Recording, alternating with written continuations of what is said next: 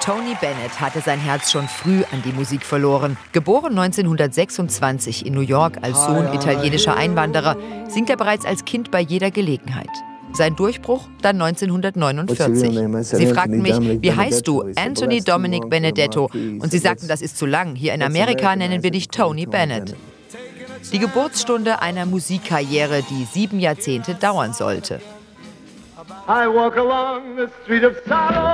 Mehr als 70 veröffentlichte Tonträger, mehrere Nummer 1 Hits, 19 Grammys, ein Stern auf dem Walk of Fame.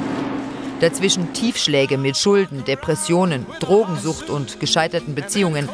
Doch Bennett erfand sich immer wieder neu für jüngere Generationen. Mit 88 nahm er Duette mit Amy Winehouse und Lady Gaga auf, eroberte als ältester Sänger der Geschichte Platz 1 der US-Albumcharts. Seine zweite große Leidenschaft galt der Malerei. Wenn ich keine Lust mehr habe zu singen, dann male ich. Und umgekehrt. Seit 2016 litt Bennett an Alzheimer.